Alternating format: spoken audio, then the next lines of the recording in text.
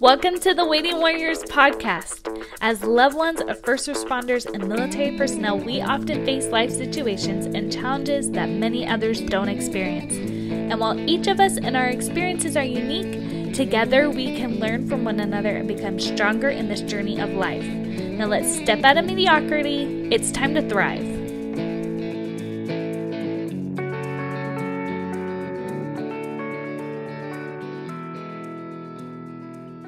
Hey, Waiting Warriors out there, welcome to another week. I know I say I'm excited very often, but this week I really am very excited to share with you Marla Bautista. She is someone I've been fangirling in the military spouse community since March, February.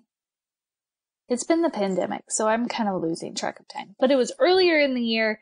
She is incredible. She's a wife to an active duty army soldier. She's a mom to three, a writer, and a co-founder of a nonprofit with her husband. Welcome, Marla. Thank you so much for having me, Michelle.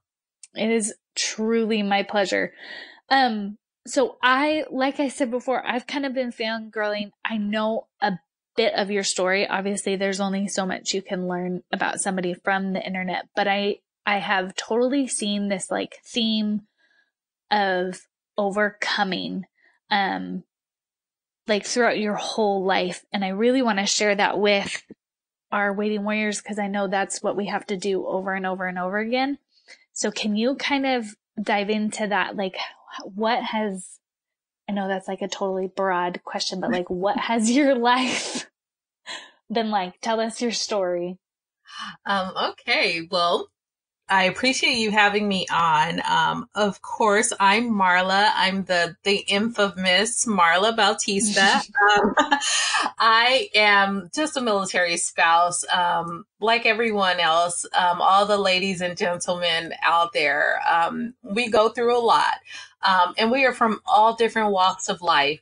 And me, I am from a very harsh part of life.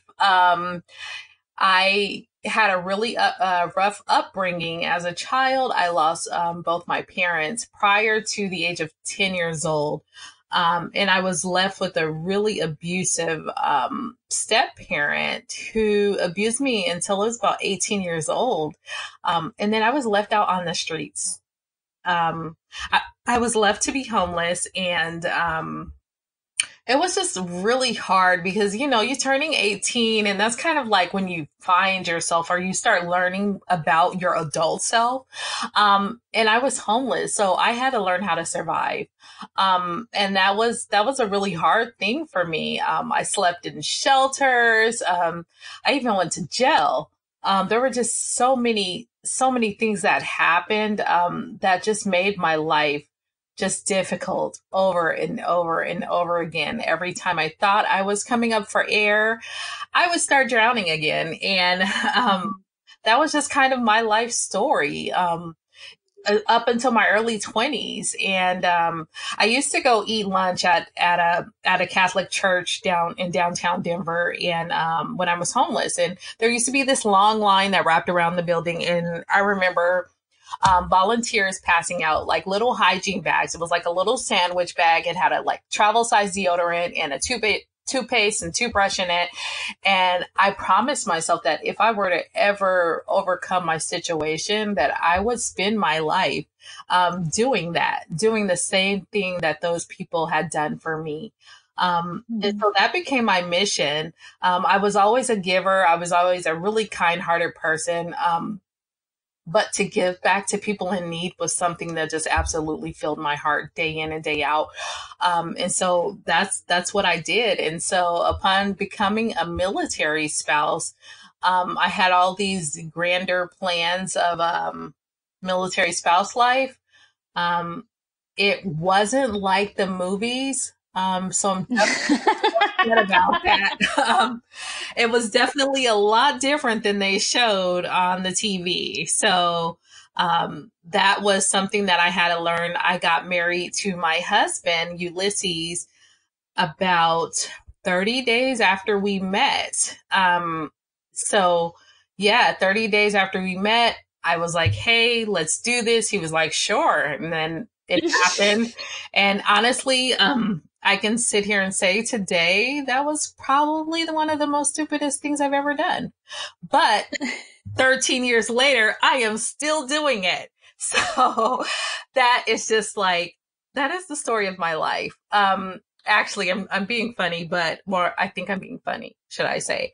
But um I I worked at a hotel um when I was like 20 23 24 years old and um I was an administrative assistant and we always used to get all these soldiers coming into the hotel and they were all these chummy guys with, you know, they want to hit on everybody and all kind of stuff. And so the guys would always ask me like, Hey, what's up? You know, where's all the cool clubs at and you know the hangout spots and i'm like i don't know like on friday nights i go to the laundromat and if anybody wants to go to the laundromat with me you are absolutely welcome to and we can hang out and do whatever and you know all the guys are like oh that's gross we're not doing that that's lame you know and they're like you don't know any clubs i'm like no i said laundromat friday night you know be there be square type thing so my husband was like I'll go to the laundromat with you, you know? And I was like, what? And so for me, I was like all mesmerized because he was like this cute guy that wanted to do laundry.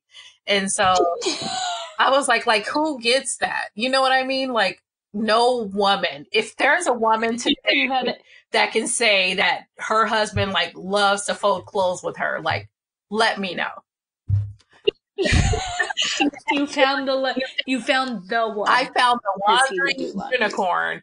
Um, and so like um we go and so like Friday Friday came around, I got off work, or no, it was actually the next day, Saturday. And so I was like, hey, I'll pick you up at the hotel and we can go do laundry. So I pull up to the hotel where he's staying. He was doing like training. He was in the Army Reserves and he was doing training. And um, so I pull up to the hotel. This guy comes out of the hotel doors with his laundry bag. And I was like, seriously? And he's like, wait, what, why are you dressed up? I'm like, you're going to take me on a date. And he's like, what? I thought we were doing laundry. I'm like, yeah, like, yeah, but no, too, you know? and so like we ended up going out to eat at like um the ESPN sports bar and we went to go get something to eat and then we hung out and did adult things. And then the next morning we did laundry. Um, we did hold up that end. um, and so, you know, 30 days later we were, we were married. And, um, I'm going to tell you guys a secret. He did not like doing laundry. He lied. he absolutely lied because he, I guess he didn't realize the amount of time it took to do laundry at a laundromat. Um, I lived in an apartment building. So, you know, when you have like your own place with the, you know, your own laundry room inside the house, you know, you can go put your clothes in and then walk away, leave it. You can even go places. You can't do that at the laundromat. Like you have to sit there and wait for your stuff. And I did all of my entire week's worth of clothes, sheets, towels, everything that day. Um, so I'd spend a good three, four hours in the laundromat. And so, you know, it, it wasn't something that he liked to do after all. Let's put it that way. um, I mean, I loved it. Um, and so 30 days later, we were married. And then shortly after that, he um, decided to go active duty. Um, that was a decision we made together. Um, jobs were really hard to come by at the time. Um, and so he was already in the reserve, so why not? So he went active duty, and we ended up getting orders to Schofield Barracks, Hawaii. Um, and I was not used to like following a husband um, because I never had one before. I was my own independent woman. I had my own place. I had my own vehicle. Um, and so we ended up getting to Schofield and they were like, well, hey, you've got to go off to training. Um, as soon as we got the house. Like we didn't even have our stuff yet. My car wasn't there yet. Like we mm-hmm. absolutely had an empty house and he went off to training and come to find out that was training for him to deploy. um, so our mm. first anniversary was spent with him in Iraq. Um, in 2008 was our first year anniversary and he was in Iraq. And so, of course, I did all crazy girls do for their first anniversary and their husband's gone. I got a tattoo with his name on it on my arm. um, so yeah, there's that. It's it's it's a whole whirlwind of fun. Um, so mm-hmm. that was what I did. Um, and back in the day, I hate to say back in the day, but um, there was no like FaceTime. Um, there was none of that was happening. There was Facebook was like becoming popular in like 2008 maybe, but it was like not really a thing. Yeah. Um, so we had like no way to yeah. instantly talk to each other unless he were he was able to call on the phone. Um, and so like I would send him a picture. So I sent him a picture and was like, Happy anniversary, and it was his name. And he's like, That isn't my name, that's my son's name. I'm like, We don't even have a son. He's like, But I know if we had a son, you were gonna name him Ulysses anyway. I'm like, You're right. But that's not the point. I was like, It's your name now. So yes, I have his name tattooed and it doesn't say Junior.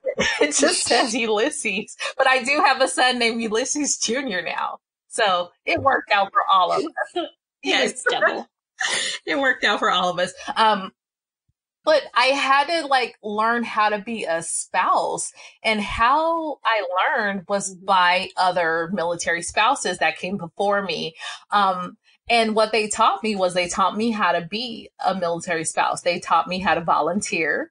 Um, they taught me how to wait for sure. That was one of the things they did very well.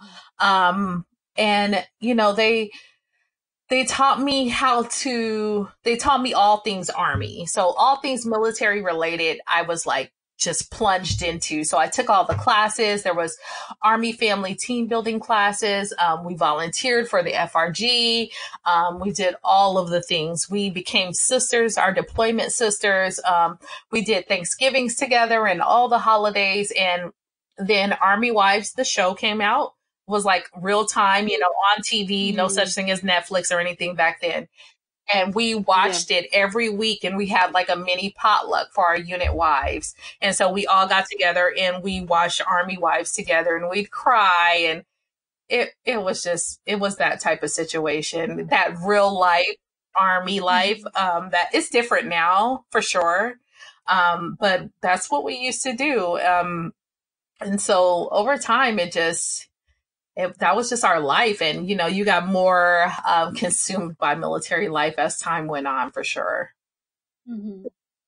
Do you feel like there was resistance in you because you had spent so much of your time not having anyone to rely on and not working around and not only like not working around anybody, but you you had to build everything for yourself because you had nothing. While most of us were thinking about what sheets we were putting on our dorm room bed, you know, like shopping with our parents, you were trying to find a mm-hmm. home and a place yeah. to build yourself up and like, right. but then now you're going from that extreme situation to an extreme situation of following, following, you know, Mr. Army around. Like, did you feel like there was a lot of resistance or did you just kind of jive with it and flow? Um, I feel like um, initially there was just because I was that strong, independent woman and I had all of the things that I had, I built myself. Um, like you were saying, there was no one to hand me anything. Um, my house, you know, everything that I had was mine. Um, and I got it because of blood, sweat, and tears. I absolutely didn't have anything handed to me. And so, yes, it was, it was a little tough in the beginning. Um, but I definitely transitioned into my role as a military spouse really well. Um, I, the first time, um, I tried to get a job when we were in Hawaii, I went down to Waikiki and got a job like instantly at a nice hotel. And this was prior to mm-hmm. my husband's deployment. And I remember, um, he was like, well, so how am I going to talk to you if I'm deployed and you're working? Like, what are you going to do? And I'm like, well, I mean, you're just going to have to like talk to me when you can talk to me. And I realized that that actually wasn't a thing back then. Um, I realized that there were military spouses who waited mm. by the phone day in and day out and would stop their lives um, for their husband's phone call And there's nothing wrong with that. I just, that was, that was new to me. I had never done that before. Um, and so I had to learn to do that. And so I didn't take the job um, because I didn't want to miss talking to my husband. And financially, uh, we were okay. Um, and so I didn't need to take the job. So I waited. Um, my husband got deployed. And like I said, I uh, dove into everything military spouse. I took all the classes. Um, I joined all the groups. I did all the the volunteering, um, and I waited for those phone calls. Do you feel like that's because I know I know this is I know how I feel about it, but it's a question I get often: is is that a healthy thing for us to do? Like, or is there a medium that we need to find? Or does it, I mean, does it depend on each person? Um, I think as far as each individual, you will make your decision mm-hmm. how you make it. Um, but for me, it was not a healthy thing to do um, because I began to lose myself. I began to live my life for someone else. And in the meantime, I lost myself the more that I pushed myself to be there for that other person wholly. I couldn't be there for mm-hmm. myself. Um, and that was really hard for me. How do you, I mean, how do you come back from that? Because any, any active duty military person, and I know it's different, or I know it's different for other, um, branches and jobs, like with the, um, police officers or firewives, but they still kind of have their own version of you get immersed in this community. And it's like, it's not mm-hmm. just mm-hmm. a job that your spouse is in. It really is a lifestyle. And to a degree, it has to be that way because of everything that it demands. Mm-hmm. Like, you mm-hmm. have to have that community.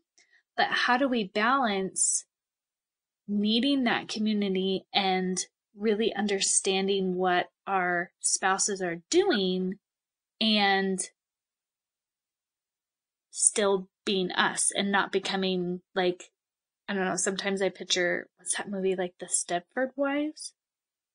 You know, like when they yes. become robots and like everybody learns how to cook perfectly and um to exercise, right. you know, like you could insert those whatever that is for your husband's life, you know what I mean? Like not that volunteering's bad, right. but like everybody becomes a super volunteer and everybody becomes right. camo wearing and I don't know, like tattoos of their husband's name, like whatever it is. I, I triggered. I'm triggered. Um, hey, I feel like you're talking about my camo purse that I got with my husband's rank on it. I still have that purse. Are you kidding me?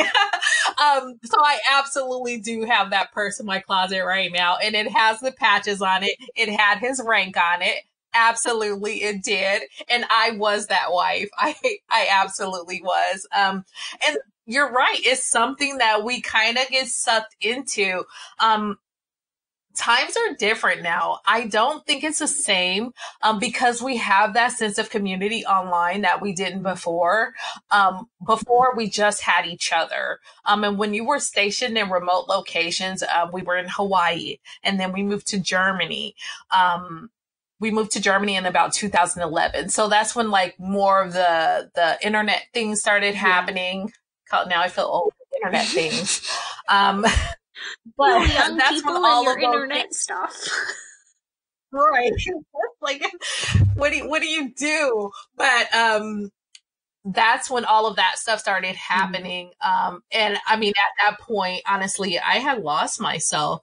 Um and I didn't realize I lost myself um until we had a bout of infidelity mm-hmm. um in our marriage. Um and that's when I realized I was God. Um when I found out my husband had, uh, I don't call it an affair, a situation, mm. ooh, an entanglement, an entanglement. Sorry to say that. I don't mean to laugh about it. It's not a funny matter. Um, but at least we, the yeah. word was yeah. The the word choice um, is a clever, witty word right. choice. but um that's when I realized honestly that I had lost myself. I was giving every single thing that I had to my soldier and it wasn't enough. And when I found out about the infidelity, I was like, okay, so this is me.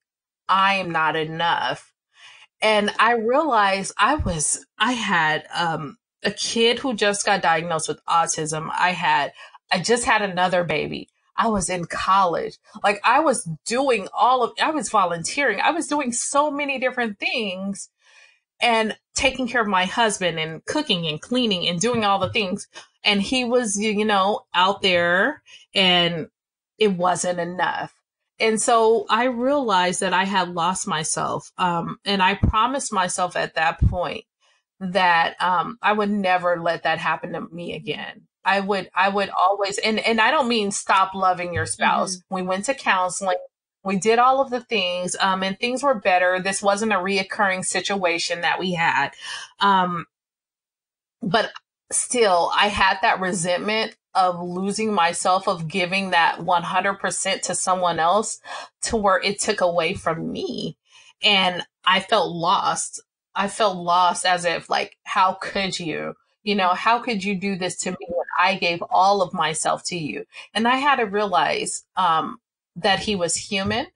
And I had to realize that honestly, it isn't up to someone else to make you happy. Mm. It is up to you to be happy with yourself. And anyone that is in your life will get to experience that happiness with you but you have to be happy with yourself. Um, and I think that's something that um, we negate quite often as military mm-hmm. spouses. Mm-hmm. Um, we don't take as good of care of ourselves as we should.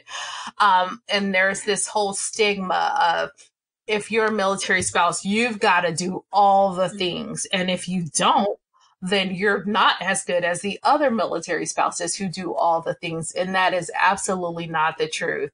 Um, and so fast forward 13 years later, um, I, you know, have friends that I have a friend right now. She's going for her doctorate. And I'm like, I was president of Spouses Club and I met her at therapy for our sons. Um, our, my son has autism and so he goes to speech and OT therapy. And I met her there and I'm the president of Spouses Club. So I'm like, you need to come to my event. And she's like, girl, I have a job. I go to school. I do all the things. I don't even want to go on post. And I'm like, how dare you? You know, like I'm like, I'm this army spouse. You know what I mean? And, you know, hanging out with her more, I w- was like, wait, you have your own life? you do your own thing? And she's like, absolutely, I do. And so I was like, whoa. So this kind of opened my eyes to like this it's okay to be yourself. Mm-hmm. It's okay to have your own life and still be a military spouse. And it doesn't take anything away from you if you're going to school, if you have a full time job, if you absolutely don't live on post and don't do anything with the military community, that's also okay. Mm-hmm. And you're you're a really good example of that because you very much so are you.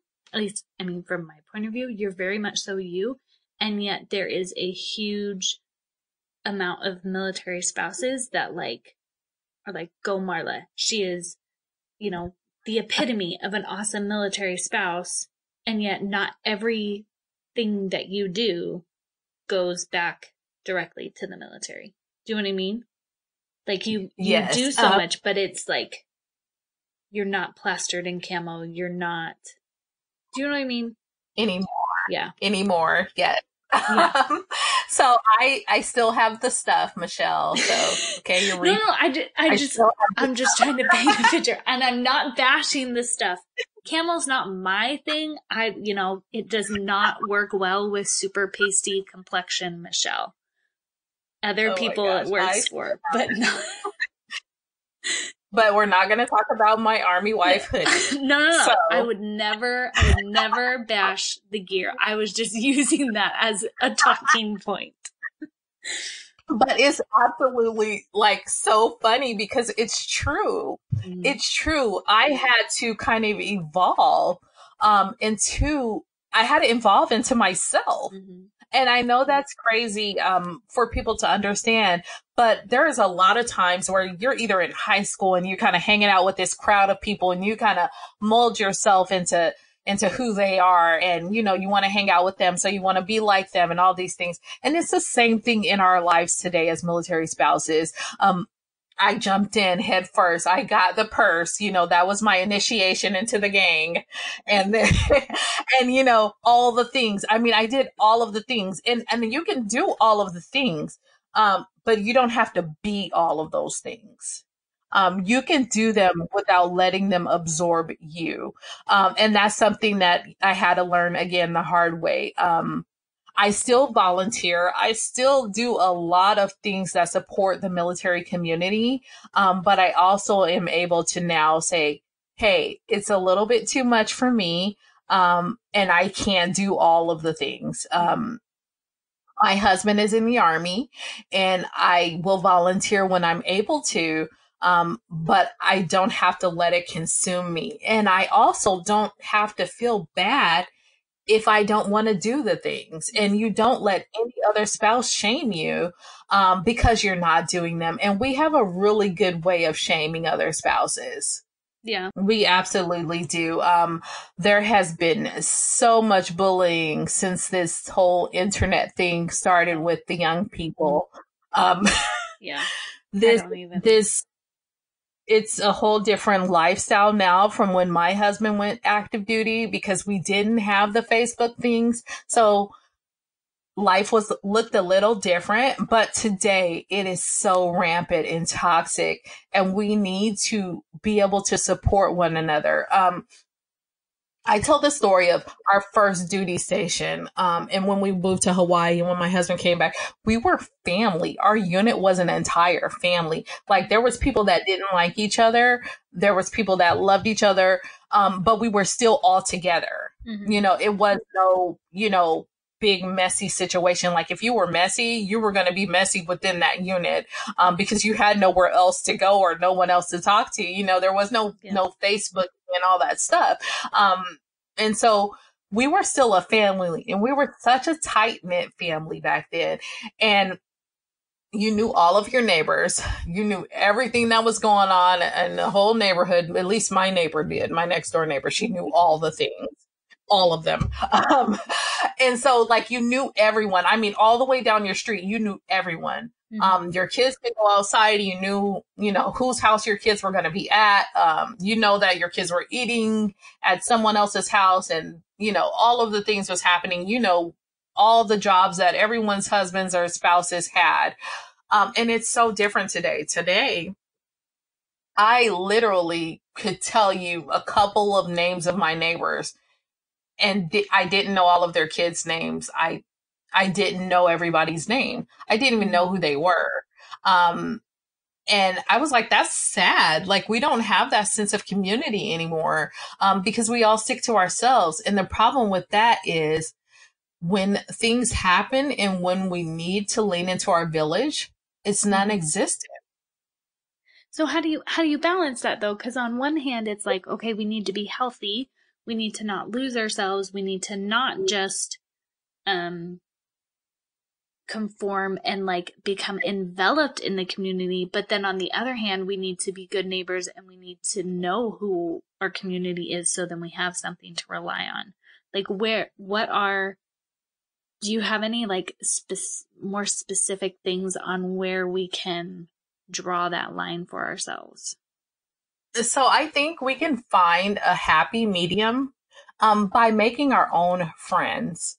Um, this is not a uh, what do you call it? The arranged marriage type situation where yeah. our friends are often arranged for us as military spouses. You're like okay this is my husband. This is my husband's unit or this is my spouse's unit. These are the people that are in my spouse's squad. Their spouses are now your friends. Welcome friends. Mm-hmm. No, you don't have to do that. You can honestly go find your own friends. Go to spouses club events, go to events within the community and make your own friends. And that way you can maintain your own identity when making those friends. You don't have to feel like you have to put on a show um, because these people are in your husband's unit or your spouse's unit. Um, you can just be yourself. And that's one thing that I, I want to kind of um, work into these spouses' lives is is to maintain your own identity um, and find your passion and find a community that is also passionate about the same thing you're passionate about. I love volunteering. That's my thing. Whether it's in the military community or not, I'm going to be volunteering. So what can I do? I can find people who like to volunteer like me. Um, and that doesn't have to be within my spouse's unit. That can be someone at the SPCA, um, that also likes to volunteer. You know, that can be someone you met at, um, a Facebook art group, um, or white walls on Facebook. You know, make your own friends, you know, allow yourself to be yourself.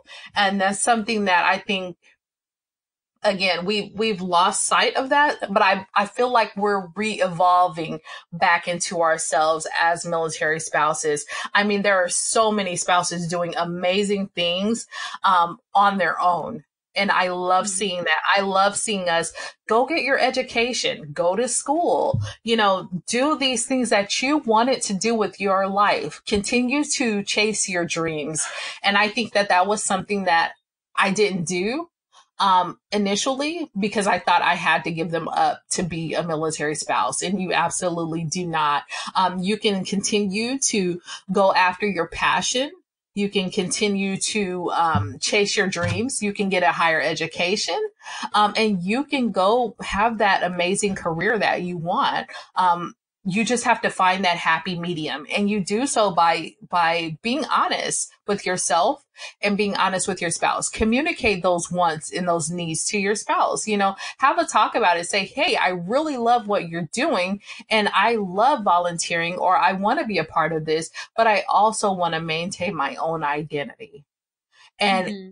your spouse should support that um, and if you mm-hmm. have any issues with that, um, I always suggest going to counseling. And I don't mean you don't have to go to counseling if you have a marital issue.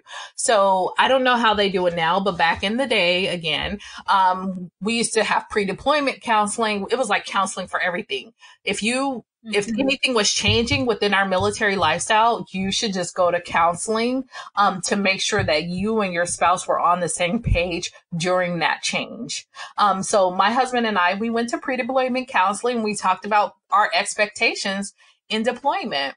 Um, we talked about, you know, what what communication would look like during deployment. Did I expect him to write paper letters? Well, I'm a writer, so absolutely, I want to get a piece of mail from you. Um, that was something that um, we talked about our expectations. We talked about, you know, even like, you know, sexual things like, are we going to have phone sex? I'm weird about it. I don't really want to do that. So we talked about those things, but that is something that we need to do as military spouses, um, is have those hard conversations because it's so much easier to have that hard conversation now than to have that unspoken expectation later you know? And dealing with that. Yeah.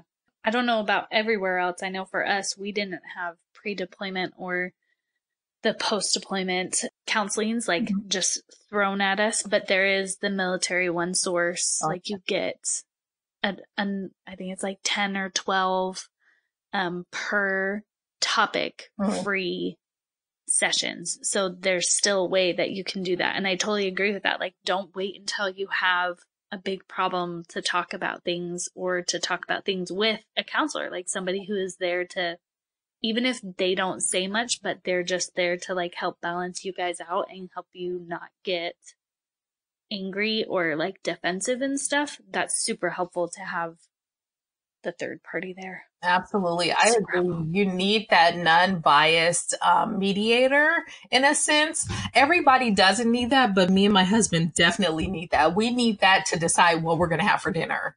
Um, so it can, we can go into an all out war about dinner. Like he's like, well, yeah. you know, I'm like, well, what do you want to eat? He's like, I don't care. And I'm like, well, let's go to this place. He's like, no, I don't want that. I'm like, you just said you didn't care though. So then it's a whole thing, you know? And so absolutely, you know, if you need that person, recognize that you need that middleman and say, hey, you know what? Mm-hmm. Like you said, Michelle, Military One Source is an absolutely great resource because you can call them 24 hours a day, seven days a week, even from overseas for free.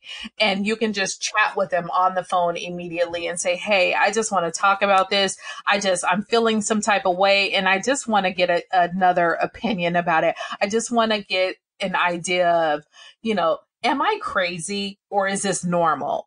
And, you know, a lot of times the things that we're going through are normal, like that pre deployment funk in your relationship. Mm-hmm. That is so normal. And I absolutely think every time he's going to leave, we're going to get divorced. No, absolutely not. But the thing is that you need to know that those, those fights are normal. Your emotions are changing. Um, things are getting tense. And yeah, you're going to, you know, take out a little bit of anger and frustration on each other.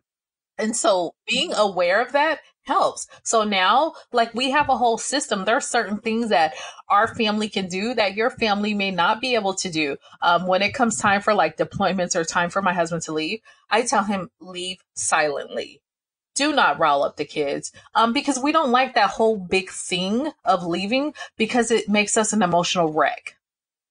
Um, mm. I'll cry. My kids are crying. It's like a whole scene from like, you know, you're stripping the kids from their parent type scene in a movie. Yeah. Like we don't need to do all that. Leave quietly. When the kids ask me, where's daddy? Daddy's at work. And that's fine. I did it for an entire year straight. Daddy's at work. When's daddy coming home? He'll be home soon. I've done it. it's possible. Um, and it's not the the most ideal situation but that's what works for my family. Um what works for your family may be those big deployment situations and you know everybody crying but that doesn't help my family stay positive. That doesn't strengthen us as a family. That makes us emotional um and it drains us physically um, because now we're remembering and we feel like bad things are going to happen and everyone's talking about it at school you know the kids are talking about it. it's just, it gets really sticky and so for us you know you've, you've got to do what's best for your own family and that's another big piece of our lifestyle is that we a lot um, we talk about what works for us um, what duty stations we like um, and we don't realize that your experience may be completely different from mine. So you should be taking yeah. what I say as a military spouse with a grain of salt. If I say I hated mm-hmm. this duty station, you might say you love the exact same duty station. Um, you know, if I say I hate housing over here, you may love it. So we've got to realize that their experience may not be our own. And that's why we need to form our own opinions. And that's why we need to establish a solid foundation within our own homes with our own spouses and we also need to have outside friends um, outside of our spouse relationships. Yeah totally agree. So what is your key to thriving you want to share with your fellow waiting warriors? I think um, to thrive in this lifestyle in this military lifestyle culture um, maintain your identity. Um, keep yourself busy with something that you love to do. Um, whatever your passion is, Can, um, if you know what that is, great. Can you give like what's what's an example of the way of how you do that? Um, how I do that is by um, bullet journaling. So take time and just journal. Journal about the things that you like journal about the things that you don't like. And I love this because it is a great way to not only brain dump and kind of get those funky thoughts out, but it's also a way to find out your true self. Um, you can also take an Enneagram test. I don't know. That's kind of a thing right now. Um, but definitely, again, I'm old school. Grab a pencil and journal it out. You know, talk about those hard things and even talk to a counselor yourself go to counseling yourself. That is an amazing way to find out who you truly are. Allow a counselor to hear your thoughts, your truth, and speak the truth to yourself. Um, speak the truth to your spouse and um, speak the truth to a counselor and just allow yourself to be open and honest. And I think that's a great way to find out who you are, to find out what your passion truly is. Whatever you do, be able to do that, whether you were getting paid or not, that's a passion. Mm. If you love being around animals and you can do it, whether, you know, 24 hours a day, seven days a week for no money, and you would just wake up happy every day, then do that. For me, giving back to others is my passion. It fills my heart with joy, um, taking care of communities. Mm-hmm. Um, and so that's something that I love to do. Um, so you definitely need to spend time alone. Um, and I don't mean just, you know, when your husband's deployed and you're with your other friends, spend time alone when your spouse is there too. You know, take a little bit of time. And I'm not saying, you know, all day, every day, but spend 15 to 30 minutes alone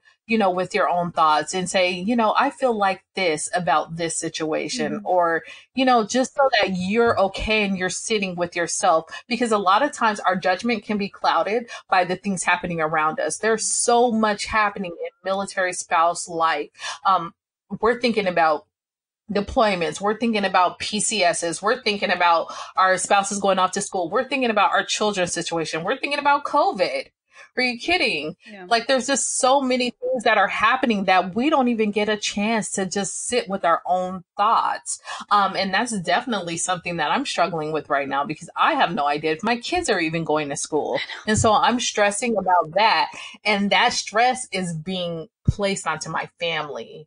You know, whether we know it or not, whether it's intentional or not, our family feels our stress. Our family feels the emotions that we're feeling. If we're happy, more than likely your household is going to be a happy one. If you're upset and angry all the time, more than likely your household is going to feel that too. Yeah. They follow suit. They follow the vibe always. It's crazy. For sure. Thank you so much. I feel like you dropped like a whole lot of wisdom and we're, I mean, very open about your experience, which I love because I think it's good to show how we are all so similar and yet how we are all different and how I love how much we can learn from each person's experience. Um, real fast, you talked a lot about how you give back or that you do give back so much to the communities. Mm-hmm. Could you talk about the Bautista Project? I know you have the um, website, thebautistaprojectinc.org. Um, yes. Can you talk about how what what exactly you do and maybe how people can get involved if that's something that they you know would love to do Absolutely. Um, the Bautista Project is a nonprofit organization um, that provides basic living essentials for homeless community members. Um, currently, we're stationed in Tampa at MacDill Air Force Base. Um, so this is where our nonprofit is now. Um, and we are providing for the homeless community members here in Tampa. Um, so what we do is we go out and we hand out um, food. We have snack packs, which are sack lunches that my husband, myself, and my children, we make.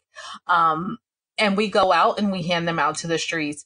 Um, we've handed out masks recently. Um, I had a friend who donated 150 masks to us, disposable masks, and we donated those. Um, and we take them directly to the people in the street. We take them directly to the homeless community members um, because that is so important to me. Um, there are a lot of organizations out there um, that have, you know, these huge organizations and foundations with these big companies, these big CEOs with these big salaries. Ours isn't like that. And I believe that it's because of my experience um, with mm-hmm. homelessness. Um, it's because I know that they need every dime that they can get they need every resource that they can get to overcome that lifestyle. Um, and so we hand out food, we hand out hygiene, we hand out clothing items as well. Um, currently, we're in the process of um, sewing belonging blankets. Um, and we actually make blankets out of military uniforms that have been donated to us by um, current and former soldiers or service members, should I say, any branch. Um, and so we love doing that. And those blankets are actually only given to children who are in group homes, foster care, or outside of their natural home setting. Um, and the reason why we do this is because of, again, my childhood. Um, there was a lot of times I didn't have things. Um, and so I want to give the kids something that belongs to them. Um, something that no one else can take away. Um, that was so important to me um, to make sure that they had something to call their own. And so we make these blankets and pillows for them and we give that to each individual child. Um, and it's theirs for life. And those blankets are not only something to make them feel like they belong, but it also gives them courage and bravery because every one of those blankets comes with a story. Um, the story of a military hero who had to also persevere and show bravery and courage um, in their job. And so the kids love that. They love to hear the stories of the soldiers and who wore the uniform. So when we we do collect them, we kind of ask the soldier like, "Hey, what do you do for a living? You know, is there any cool stories you can tell us about you know these uniforms?" So we've gotten uniforms from like people who worked in EOD and like oh. Navy SEALs and all kind of stuff like that. We've gotten uniforms also from my husband, who is a geospatial engineer who sits at a desk and, you know, does the desk stuff. I don't know. He, he distributes snacks to his soldiers for a living. don't tell them I said that, but that is something that the kids need to hear. They need to hear those stories um, mm-hmm. because it helps them get through their life. Um, it helps them know that if they continue on and and exude that strength that they've been given with these blankets that they can make it through anything and i think that is just that is just so important i believe that all children need to know um, that they have potential in all things.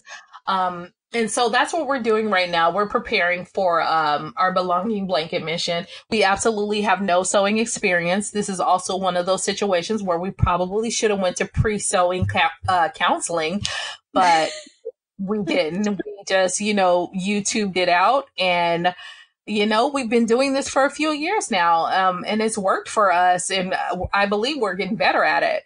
Um, but it's just something we love to do. If you'd ever want to help us out, um, you can always donate to the Bautista Project via our website. Um, you can go to www.thebautistaprojectinc.org.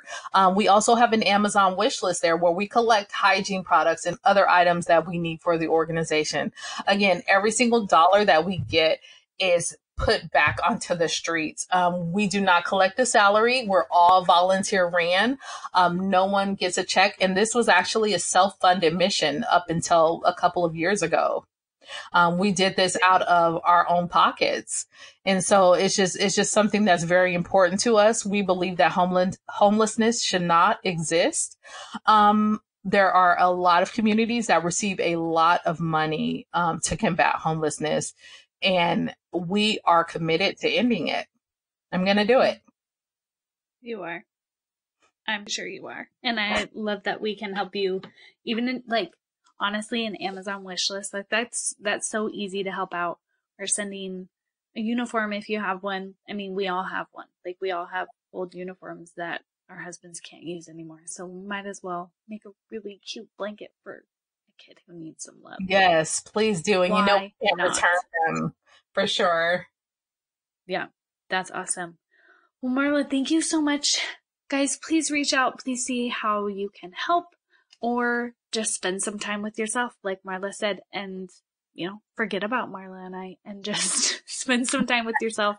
See what are ways that, you know, are things that are just like, you know, I really don't actually like that. Or I like this, but I'm not doing it in a way that's like totally true to you. And then shift it because I'm a big believer that you need you, your family needs you, and the military or law enforcement or firefighter community need you, not some robot, but you. Absolutely. Go. Thank you so much, Marla, and all you waiting warriors out there. Just remember, just because it's hard doesn't mean it has to be miserable. Have a good week, guys.